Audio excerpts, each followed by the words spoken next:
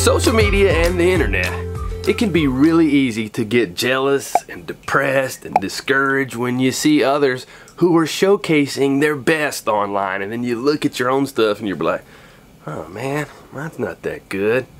And in relation to homesteading, when you see somebody post the best view of their garden on Instagram or they're showcasing their new chicken coop that they just built or bought and you just get discouraged. And I encourage you, from my personal experience, don't get discouraged by these things. Instead, just focus on what you can do and focus on making progress yourself. Not perfection, nor trying to keep up with the Instagram Joneses. And when we look back at history, there's not picture perfect chicken houses and chicken coops that we see. No, these people were just focusing on survival. They didn't have Instagram and Pinterest to, to, to compare each other's chicken coops to. No, they were just focusing on living. And they had they built all kind of contraptions for their animals to live in just because, once again, their focus was on survival, not on picture perfect pretty. And over the years that I've been a homesteader, the goal has been to gradually make progress and improve my systems and my structures over time. And with ducks in particular, I've been raising them for about eight to 10 years now, working with them and learning. And during this time, they've lived in all different types of contraptions. but recently, I've had these ideas floating in my mind of how to create some new builds for them to improve their housing and my duck system. So I've been saving some scrap materials on the farmstead for a time such as this, a time that is time to actually start taking these ideas and creating some prototypes. These pieces here, these pallet looking things, well, they were part of a wooden box that some time ago we got some large equipment in. And then I was like, hmm, we can probably recycle some of that wood on a project one day. Well, today is one of those days that we're going to try to recycle this wood. So for my prototype duck, mobile duck house, I'm gonna try to repurpose this wood here. We just have to disassemble it. And it's pretty, uh, uh, it's kinda heavy. We'll start off with our Gorilla Crow pry bar, whatever this thing's called. Just start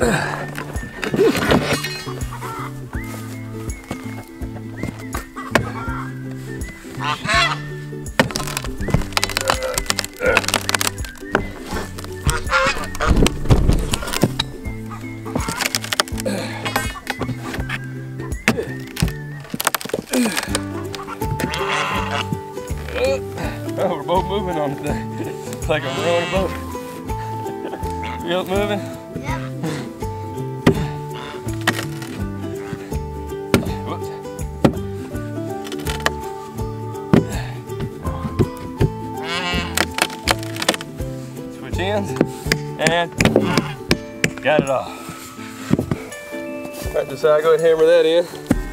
Whew. It's probably not the ideal time to be doing this. Just a little bit hot out here. Good. So, put those nails in. A little harder. Put some. Put the power in there. All right. Slow that power down. Maybe I told you too much power. See? You gotta keep your accuracy. Yep.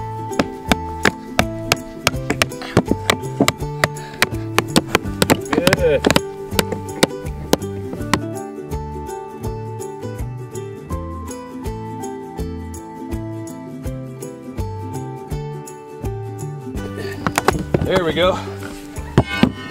Maxim's ready. Let's do Let's it. do this! Yeah.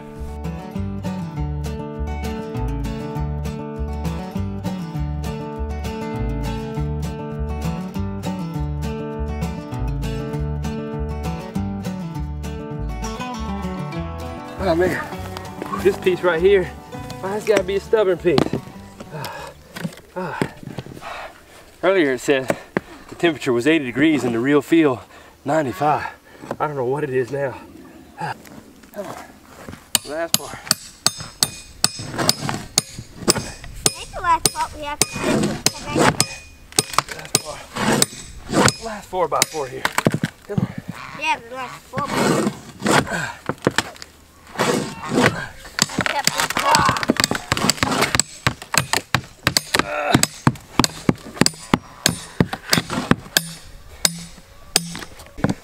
did have some rats under there.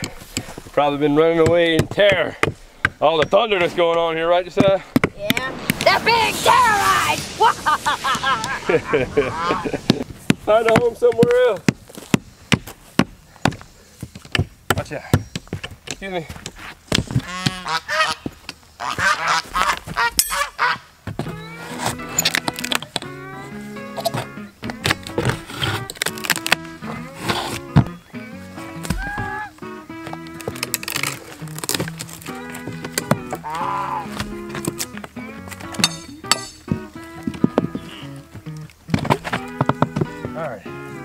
Alright, with all the wood off, I should be able to flip it over now. We'll just have to see how many rats are under here. Hopefully the Rat King doesn't come out at me. what we got? Anything under there?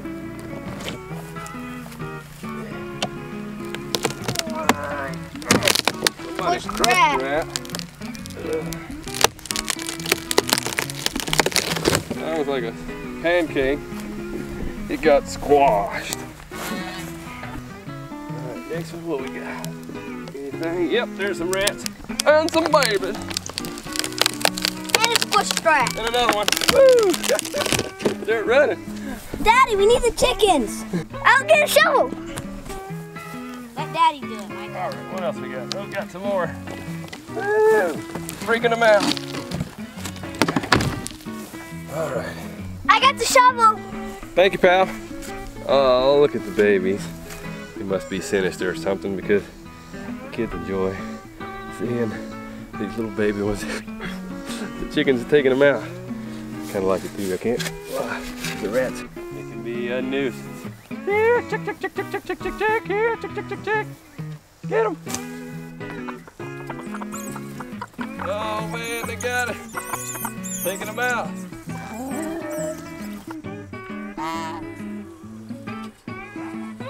Got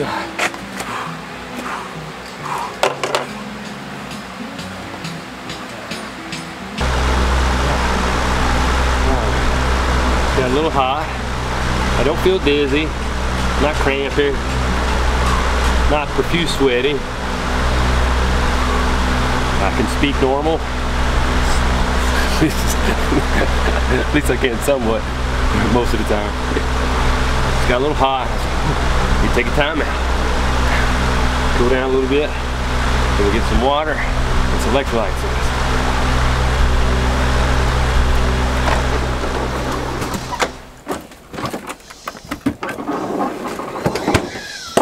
Since you guys have been working outside really hard, we'll give you a nice cool treat. Oh, here we go. Here we go. Ta-da! There you go, Micah. Thank you. Okay.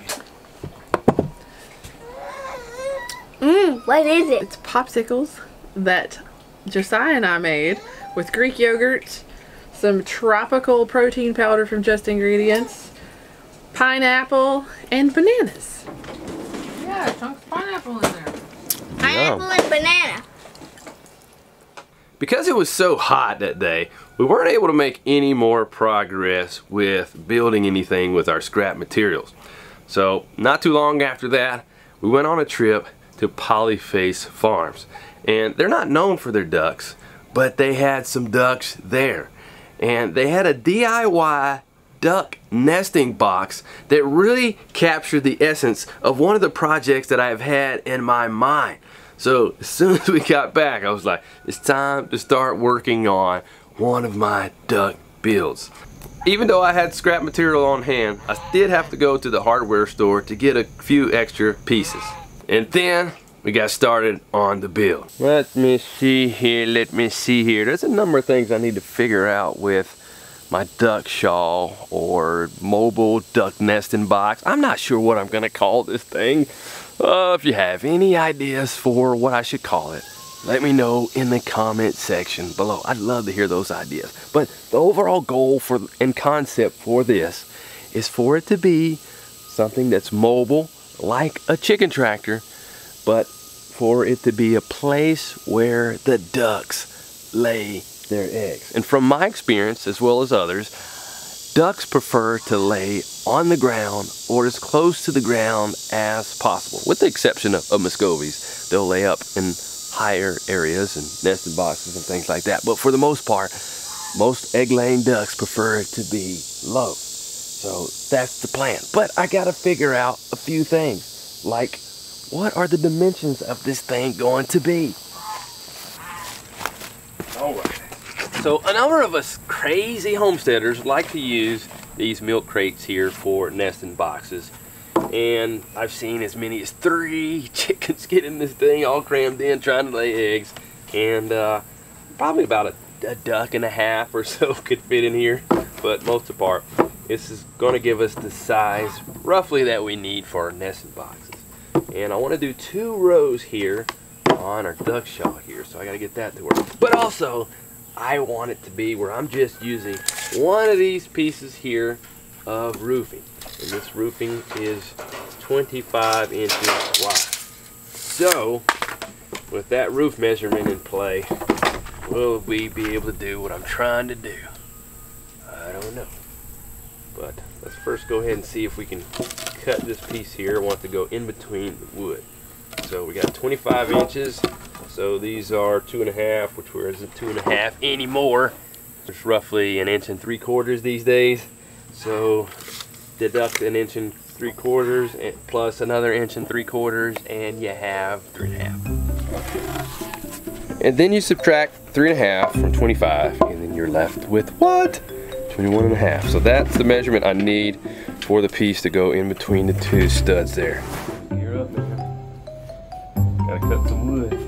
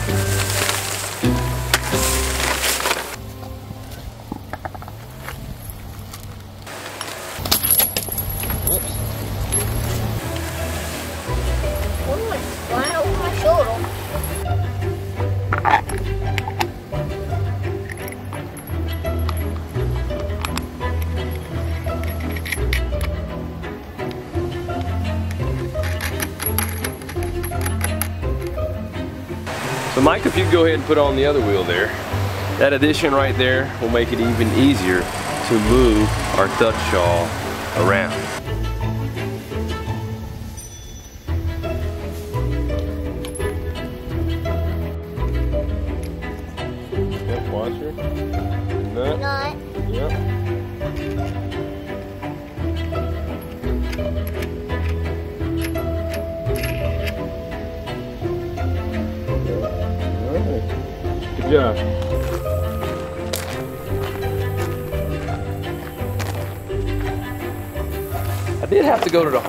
Store to get a few pieces. I try my best to use as much as I can of recycled materials here from the homestead. We also have some recycled and leftover surplus wood from extended family projects here. And I need to find a piece that is pretty wide. Let's, let me see here. This piece is, let's see here, 11 inches. Alright, so if it's low enough, it should work. Excuse me.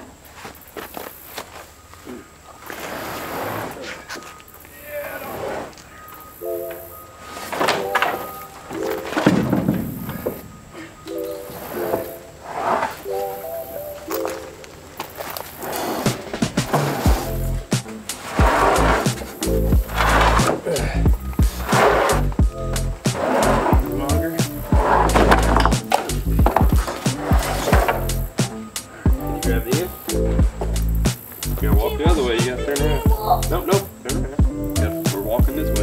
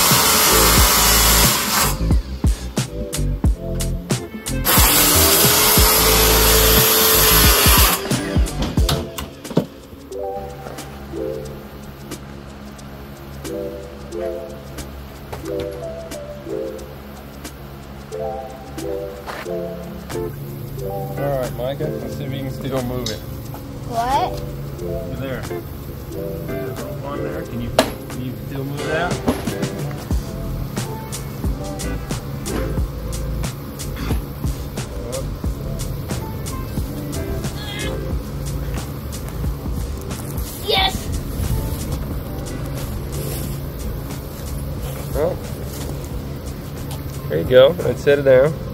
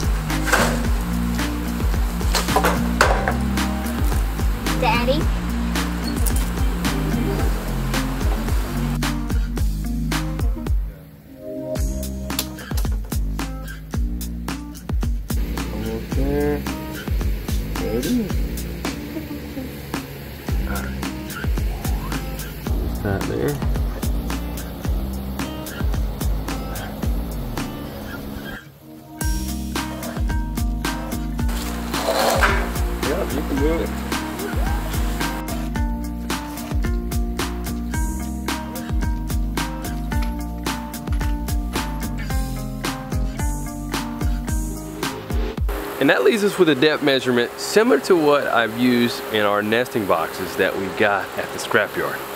it's a long story, we'll try to make it short. So, a number of years ago, I was at the scrapyard, saw a guy scrap metaling a number, a bunch of commercial chicken nesting boxes and I was like I'd like to have some of those so I bought some from him and we've been using them here however it doesn't work out really well for our context. They're, they're a little weird to move around here. But I've learned a lot with using them.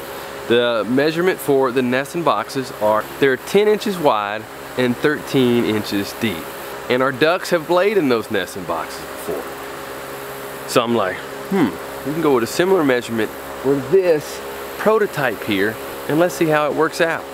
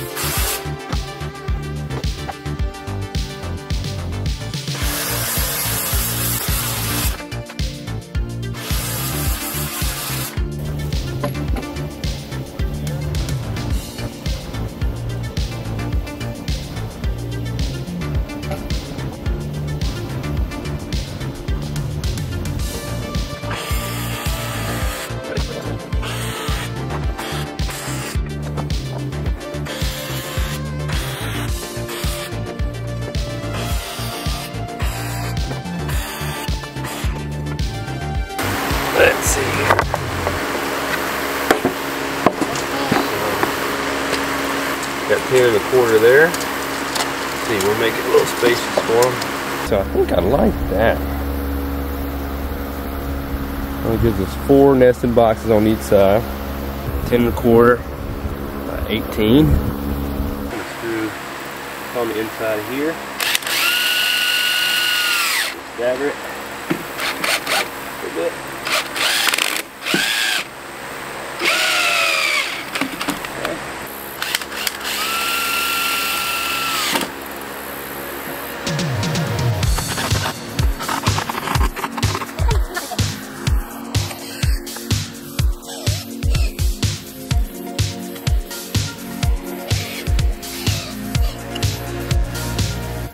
Ahead and try to put that one in? Yeah.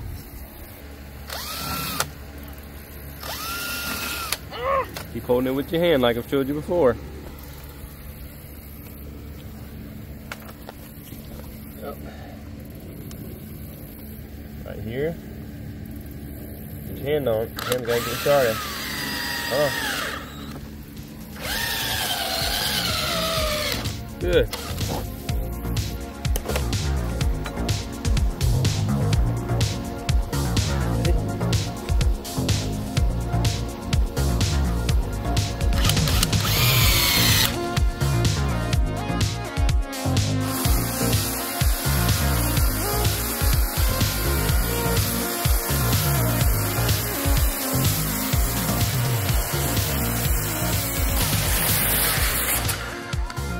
Out here on the homestead, doing projects in various places.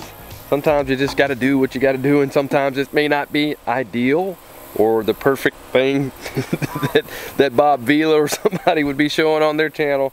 But for things like ripping wood, one of the things that works for me is cutting it in mulch, putting a piece of wood and just ripping it, which means cutting the piece in two, cutting it in the mulch, not in the ground where that dulls your blade, but the mulch where the wood chips and things are just loose and uh, saves my blade.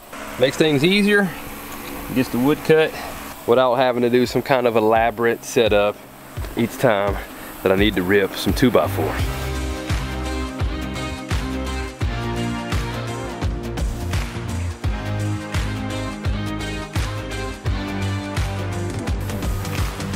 For a little bit there, I was starting to think that maybe I wouldn't use these pieces, but I am going to use, have a need for them.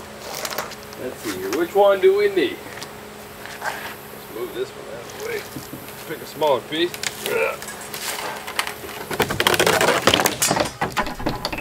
Alright. That might work here.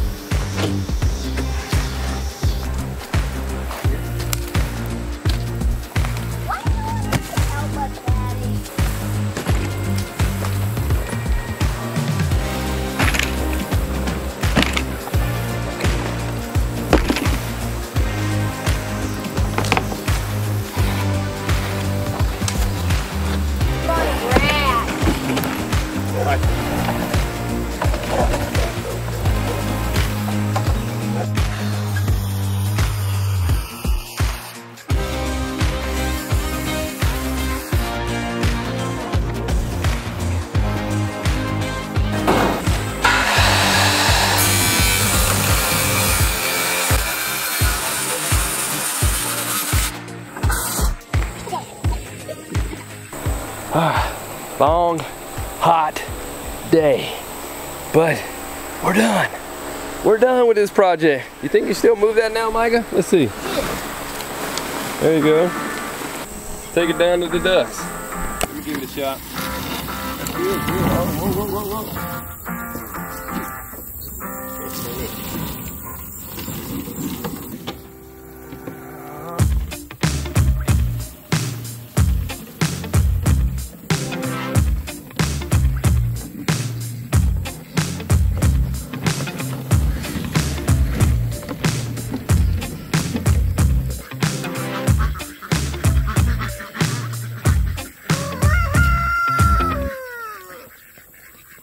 Man, he got shocked. Are you all right?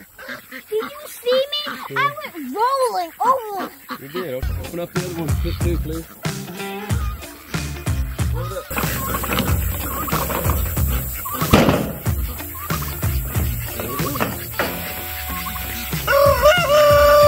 Hope they put this thing to the test. Use it.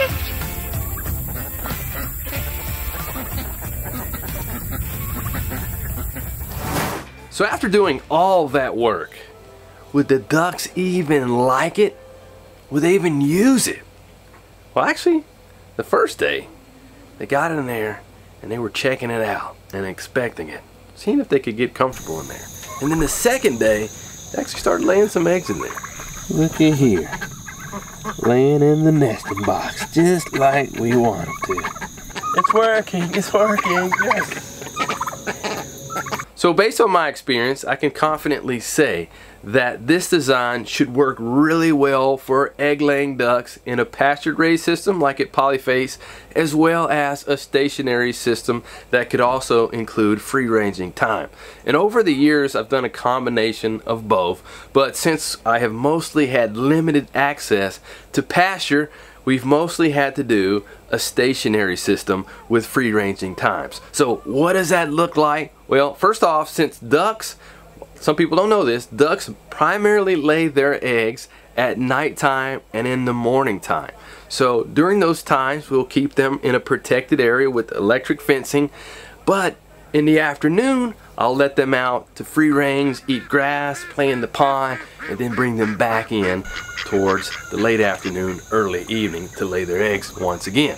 But I do like to encourage people to consider ducks for eggs. A lot of people think of chickens, but ducks can also be a great source of eggs on a homestead or farmstead. And speaking of ducks, I'm also really excited because we have some more ducks coming here in the mail here pretty soon that I just ordered from Murray McMurray Hatchery. In addition to egg laying ducks, I also raise ducks for meat as well. So super excited about that. And stay tuned because I have these other ideas for builds coming up that I plan to put in place and start working on. So stay tuned for that.